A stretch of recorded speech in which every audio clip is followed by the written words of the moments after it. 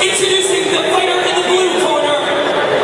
He weighed in at 170.2 pounds and is a professional mixed martial arts record of three wins and four losses. Fighting out of Combat MMA in Woodbridge, Ontario, he is Chris Vorano.